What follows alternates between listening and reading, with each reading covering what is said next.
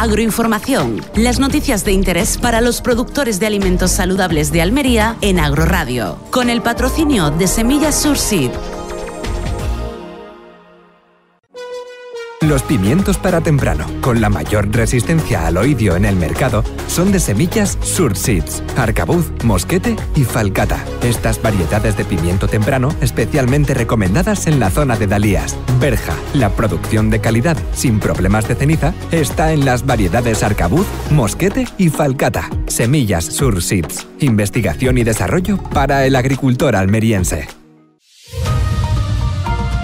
Agroinformación con Víctor Barrera en Agroradio. La agricultura bien contada. La agricultura es el sector con menos accidentes laborales, con el 3,1% del total en 2020, según el Instituto Nacional de Estadística. Tenemos al otro lado del teléfono a Carmen Vidal, secretaria general de UGT Almería. Buenas tardes. Carmen, puede parecer un dato positivo, pero no frenan los números. Sigue muriendo gente día a día. Ayer perdieron la vida cuatro personas. Podríamos decir que fue un martes negro. Pues sí, por desgracia, ayer los números que estuvimos viendo pues eran fatídicos para, para los trabajadores y trabajadoras y, y desde UGT pues volvemos a reivindicar la situación tan problemática que tenemos en, en la siniestralidad laboral que día a día pues por desgracia fallece uno o dos trabajadores diarios, así que a nivel nacional. Mm. Nuestra provincia 2020 acabó con, con 13 trabajadores que han fallecido y, y también preocupación, cualquier persona que vaya a su puesto de trabajo puede debe volver a casa, que es nuestra reivindicación primera. Y este año pues ya vamos por tres trabajadores. ¿Sabemos si alguno de esos cuatro pertenece a la agricultura? Cuatro trabajadores de ayer no estaban en el sectores como servicios, construcción, entre los tres sectores pues más eh, que más están falleciendo actualmente eh, los datos que nos aporta TEINEN, que es el que nos dice cómo está la situación laboral. El sector agrario en, la provincia de Almería, en Andalucía, sí te puedo decir que eh, en el 2020 acabó con nueve trabajadores que fallecieron. Eh, industria fueron 10, eh, construcción 4 y servicios 15. Si te das cuenta, realmente el número en 2020, que es de lo que se está hablando en esta en este estadística del INE, eh, realmente no hay tanta diferencia entre agri- agricultura y, y servicio, porque claro, 2020 fue un año de pandemia, fue un año que el sector agrícola estuvo eh, pues dándolo todo, porque evidentemente necesitábamos, los que estábamos eh, en casa necesitábamos comer y es el sector que no para. Y sí que fue un año complicado para la- los trabajadores de la agricultura, porque como ya has visto, el número no es que tampoco sea bajo. Nueve son muchos trabajadores y trabajadoras que fallecieron en el sector agrícola. Es cierto que el- también nosotros en nuestro estudio de UGT tenemos que la parte más importante de los que por lo que fallecen los trabajadores y trabajadoras es por eh, problemas de derrames cerebrales o muerte de infarto. Esos son realmente los, junto con los accidentes de tráfico, que no se nos pueden olvidar, que también la parte de transporte está ahí, que está ahí enclavada en el sector servicio y que muchas veces son los que llevan nuestra nuestra agricultura fuera de, de nuestra provincia de nuestra de, de nuestro estado o sea que realmente hay que acordarse de ellos de esos trabajadores que están los días en la carretera Ha dado algunos números, vosotros contáis con un contador de muertes, son cifras alarma- alarmantes. ¿Qué se está haciendo a modo de prevención? Sí, el contador de muerte pues ahora mismo en España está en 191 actualmente, son datos que se reflejan día a día, mientras que en Andalucía contempla, bueno, en este año 2020 se cerró con 111 trabajadores fallecidos y actualmente con 52. O sea que son números muy alarmantes para estar en el siglo XXI y seguir exigiendo que se cumpla la ley de prevención de riesgos laborales, que es una ley que lleva más de 25 años, que nosotros entendemos que está un poco obsoleta, que hay que contemplar otra serie de aspectos que no estaban contemplados en ella y evidentemente hay que seguir incidiendo en muchísima inspección para que esto no ocurra. En 2020 hemos mencionado que bueno que fueron graves los accidentes. ¿Cuáles son las principales causas de accidentes mortales en la agricultura? En la agricultura, pues la mayor parte de accidentes pues ocurre bien porque puede ser la base de riego, que como sabéis que tenemos en nuestros campos, en nuestros invernaderos y basas de riego para poder nutrirse de ellas. y muchas veces pues no tienen la medida de seguridad que contempla la ley, como tener un, flotador por si alguien cae o alguien se asoma a coger agua o alguien se mete a, a refrescarse, imagínate, pues en estas altas temperaturas que ya comenzamos a tener en Almería, pues muy preocupante que esas bases de riesgo tienen que cumplir esa ley de prevención de riesgos laborales.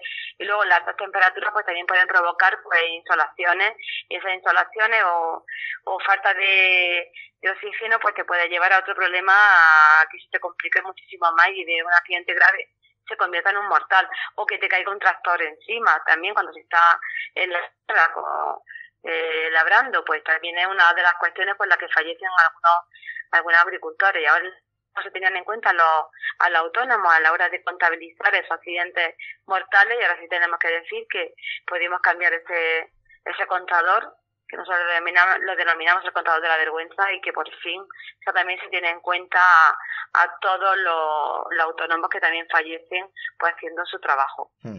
Hablamos de accidentes que terminan con la vida de personas, pero bueno, otros se quedan pues, en un susto, digamos. El 22,6% de los trabajadores que sufrieron un accidente laboral en 2020 no dejó de trabajar o se reincorporó ese mismo día y apenas hay diferencias entre los hombres y las mujeres. Los hombres con un 22,3% y las mujeres con un 23,2%, que no dejaron de trabajar tras accidentarse. Este problema ocurre por el miedo a perder el puesto de trabajo. Esa es otra situación que tenemos que vivir, por desgracia, los trabajadores y trabajadoras y, y que los sindicatos denunciamos día a día y que dependemos de que ellos denuncien pero nosotros seguir avanzando ¿no? y decirle a la, a la inspección de trabajo que, que tienen que ser vigilantes en estas situaciones porque te choca que el 22% pues no se tenga que incorporar o se incorpore rápidamente al puesto de trabajo. Eh, a veces tienen pues la presión, la presión de, de algún empresario, no vamos a denominar a todos, a empresarios que, que obligan a que te incorpora o, o realmente te vas a la calle. Muchos de ellos te obligan a firmar el finiquito y, y firmas el finiquito, en el, hecho pasa la construcción, ¿eh? Por desgracia a día de hoy. Firmas el finiquito sin llevarte nada y, y encima de un accidente laboral y a la calle. Y así, un día tras otro. Por desgracia, estas situaciones siguen ocurriendo.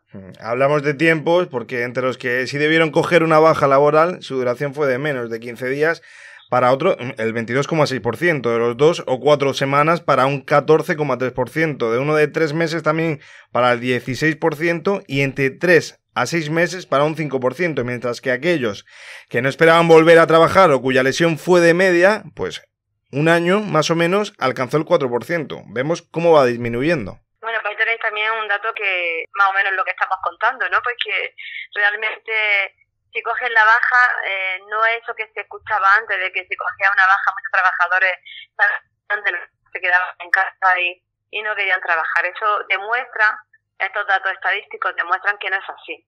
Que los trabajadores cuando cogen una baja es porque realmente se están, están enfermos y muchos de ellos están eh, deseando incorporarse, primero porque necesitan a nivel económico tener tu trabajo y tener tu nómina, te retienen bastante la ciudad social cuando te baja, sobre todo en los primeros meses. El trabajador no quiere estar enfermo, no quiere estar en casa y no quiere estar malo. Cuando te pide una baja o cuando tienes una baja laboral es porque tienes que tenerle, porque te tienes que, que curar y que tienes que en las mejores condiciones eh, de salud. El hecho de que no tengas antes de tiempo lo que te puede conllevar es una baja a más largo plazo o hasta inclusivamente te puede llevar a la, a la muerte, inclusivamente. O sea que, evidentemente, yo creo que, que es una cuestión que nos lleva a decir que los trabajadores y trabajadoras no son fraudulentos. Realmente, el trabajador eh, intenta incorporarse lo antes posible. Y a veces, cuando se está malo, también la inspección te, te incorpora, aunque tú realmente todavía no te encuentres en las mejores condiciones. Carmen, y a la hora de contabilizarlo, eh, un accidente como laboral, es difícil comprobar si está mal señalizado eh, o, o, no. En plan, ¿es al minuto? A veces dura horas, otras veces pueden pasar años. Pues sí, por desgracia, eh, cuando se contabiliza un accidente, a veces no es tan fácil que sea considerado accidente laboral, se tiene que estudiar. Sobre todo si te pillan en el extranjero. Imagínate que es un conductor que ha ido fuera de España y en itinerario en fuera de se, se traslada, se valora, se ve cómo ha sido, cómo no ha sido, cómo fue el accidente, quién de quién fue la culpa. Pues por desgracia para la familia esto le puede llevar a años de litigio para que sea considerado un accidente mortal. El que ocurre en el centro de trabajo porque sea un infarto o un derrame cerebral, también tiene que eh, argumentarse qué ha sido en el centro de trabajo, por qué le ha pasado no estaba malo antes, en fin, son problemas judiciales que la familia que ha perdido una persona tan querida, pues no debería de sufrirlo. Debería ser más inmediato. Y los juzgados están colapsados actualmente, llevan colapsado años y por desgracia hay veces que los litigios se derivan a años. Más inspecciones también estáis pidiendo, ¿no? Evidentemente, sí. La inspección mm, nosotros la pedimos tanto para cuando hay es laboral porque se trabaja sin contrato o con, o con menos horas de las que se debiera contratar, como cuando hay siniestralidad. También nosotros desde Almería pedimos esa unidad importantísima, la inspección de, de prevención, que haya una unidad específica donde haya sus inspectores e inspectores dedicados a la, a la siniestralidad laboral. Cuando haya un accidente, pues evidentemente todo sea muchísimo más rápido, que además antes de que haya el accidente, que es nuestra cuestión, que haya mucha más prevención y para que haya prevención, pues tiene que haber visita de la inspección a la empresa.